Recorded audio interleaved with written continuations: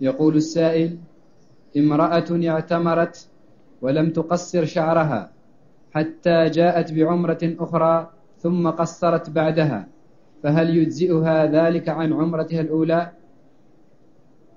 تقصير يكون عن العمرة الأولى وتقصر مرة ثانية عن العمرة الجديدة. نعم.